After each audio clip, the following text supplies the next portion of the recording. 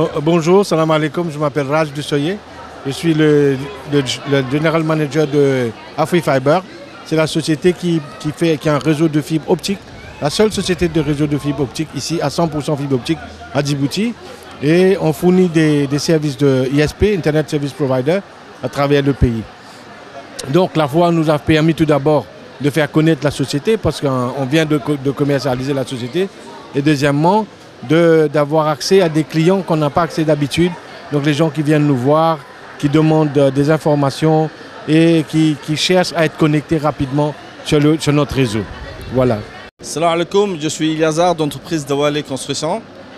La foire nous a bien aidés, elle nous a ouvert une grande opportunité pour rencontrer des grandes sociétés et des clients, nous, pour aussi euh, montrer ce qu'on a pour l'instant, on a une nouvelle, une nouvelle, cité immobilière située à Balbala Sud.